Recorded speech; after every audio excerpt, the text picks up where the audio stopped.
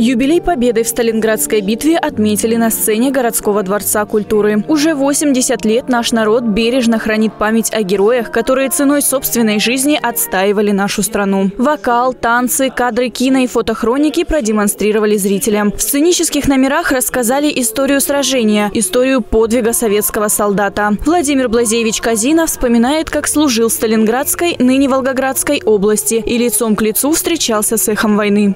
Один раз в неделю, это была установка такая, я по области э, занимался устранением мин, э, снарядов, которые были войной там применены то есть уничтожал, подбирал. О подобных событиях каждый из нас должен помнить и знать. Гости концерта, большая часть из которых школьники и студенты, сумели полностью погрузиться в атмосферу, царившую в те дни в Сталинграде, и отметили особую значимость подобных мероприятий для подрастающего поколения. Подвиг героев почтили минутой молчания. Имена защитников, погибших в боях за Сталинград, навечно останутся в сердцах народа. Ульяна Наумец, Богдан Патрин, Новости 21.